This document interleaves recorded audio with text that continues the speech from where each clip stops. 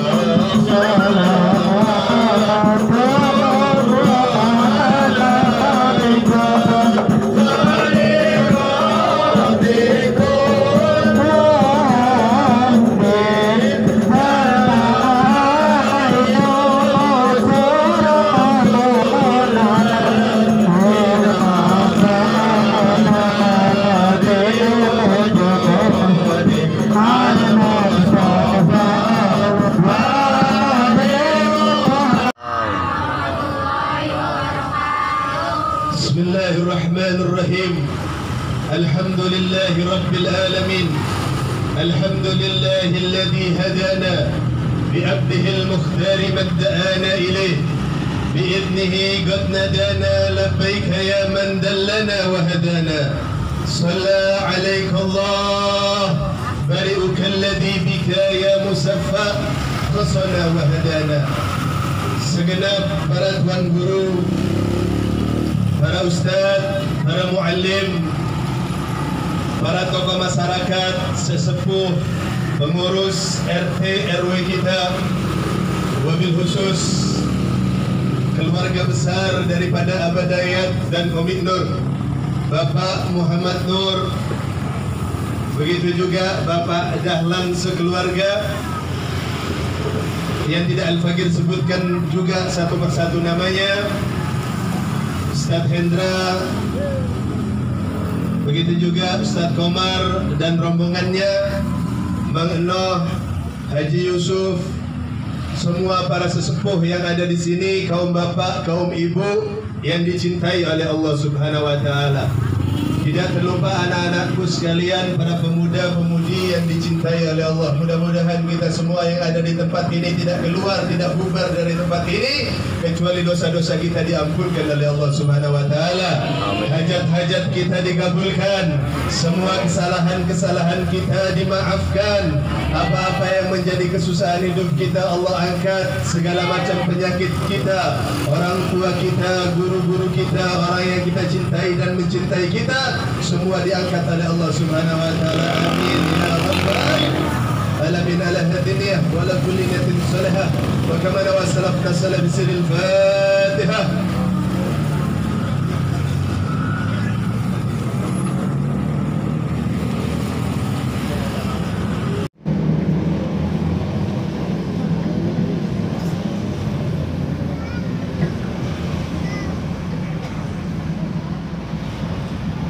Hadirin wal hadirat rahimakumullah melengkapi daripada ceramah yang luar biasa daripada dua guru kita. Al-Fagir hanya merangkum daripada keduanya dan sedikit menambahkan.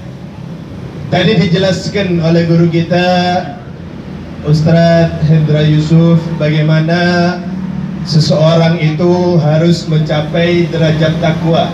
Bagaimana kiatnya bagaimana caranya Begitu juga disampaikan oleh Ustadz Komar. Bagaimana apa? Orang yang menuntut ilmu itu Adalah orang yang sudah dijanjikan oleh Allah subhanahu wa ta'ala Dengan surganya Allah subhanahu wa ta'ala. Anda tambahkan pada malam hari ini Sedikit menambahkan Bismillahirrahmanirrahim. Qal Al-waladul bar La yadkhulun nar wa in amila ma amal. Wal waladul ab la yadkhulul jannah. Wa in amila ma amal. Saudara diterangkan bahwasannya apa? Al waladul bar. Kita semua yang ada di sini tidak lain dan tidak bukan datang ke tempat ini kita awali membaca doa. Betul? Untuk orang-orang tua kita. Orang yang telah mendahului kita. Saudara-saudari kita betul? Terutama daripada saudara Ustadz Hasan dan saudara-saudaranya, orang tuanya, bance semuanya mendoakan daripada Umi Wirdah binti Haji Ali, betul? Semua yang ada di sini insya Allah adalah anak-anak wanginya surga itu sudah bisa tercium 500 tahun perjalanan daripada apa? Orang yang akan nyampe ke surga, saudara. Kayak apa jauhnya 500 tahun perjalanan? Kita mau ke Mekah jalan kaki belum tentu. Apa?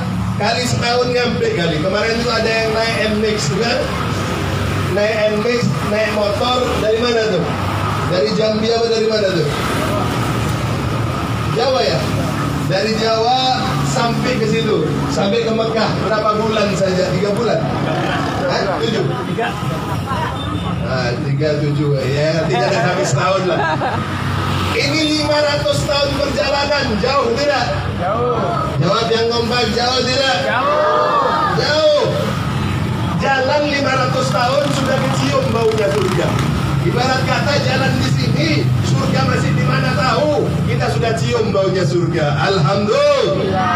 Nah orang yang tidak berbakti sama orang tuanya, anak yang durhaka sama orang tuanya, jangankan masuk surga, nyium baunya surga aja tidak bisa tercium, saudara. Inna lillahi wa inna ilaihi rajiun. Al-waladul ad Ingat-ingat Anak yang durhaka sama orang tuanya Layak hulul jannah Tidak akan masuk surga Wa in amila ma'amal Walaupun amalnya Ketaatannya Ibadahnya Luar biasa Kepada Allah subhanahu wa ta'ala. Solatnya luar biasa. Jumatannya tidak pernah telat. Lima waktu datang ke masjid Malam tahajud Tapi sama orang tuanya tak apa Durhaka Demi Allah Tidak akan dia masuk ke dalam surganya Allah subhanahu wa ta'ala. Makanya hati-hati Sama orang tua kita saudara. Jangan orang tua kita sudah apa? Sudah meninggal Ibarat kata putus urusan saudara. Yang mati biar mati. Enggak. Orang tua kita adalah sebab musabab adanya kita di dunia. Betul? Siapa pun kita sekarang Apa pun pangkat kita Apa pun derajat kita Siapa pun kita dipandang oleh manusia pada detik ini Adalah berkat orang tua kita Jadi jangan pernah melupakan jasa orang tua kita sama kita Cek Cek benar-benar apa yang sudah dimakan orang tua kita. Bagaimana yang dipakai orang tua kita. Tidak pantas rumah kita bagus-bagus, rumah orang tua kita bocor tidak dibenarkan sudah. Betul? Betul. Sama-sama dari tempat ini kita apa? Jadikan semua niat dalam hati kita kita ingin jadi anak yang berbakti sama orang tua kita. Amin. Mumpung orang tua kita masih ada, yang masih ada orang tuanya minta tolong.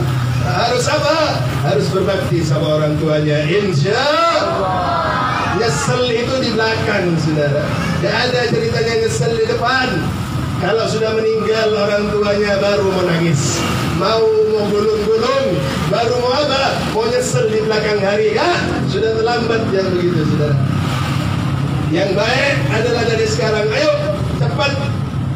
Kalau punya niat baik cepat laksanakan. Seperti hal yang sudah kita apa, bacakan di pengajian-pengajian sebelumnya Niat baik cepat laksanakan. Keinginan baik cepat laksanakan. Kesalahan pun harus cepat kita benarkan. Insya Allah.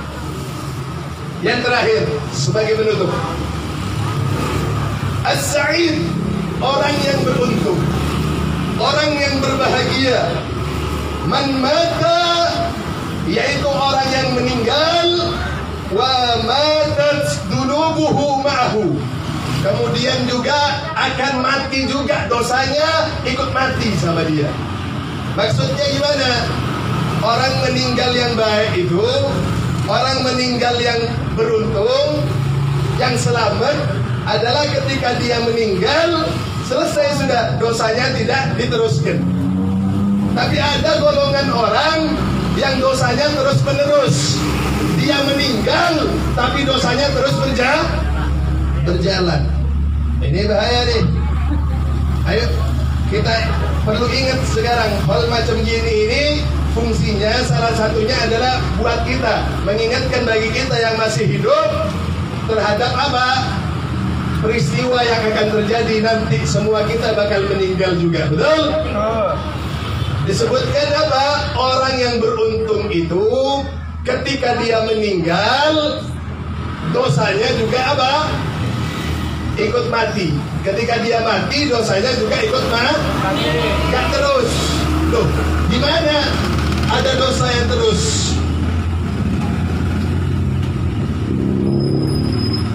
Ada saudara dosa yang terus akan dihisap. Contoh dia mengajarkan seseorang apa? Melakukan perbuatan yang jelek. Misal dia ajarkan anak-anak muda di kampung apa? Cara berjudi misalnya atau ngasih tahu cara bagaimana caranya mabok itu anak mabok tahu dari dia.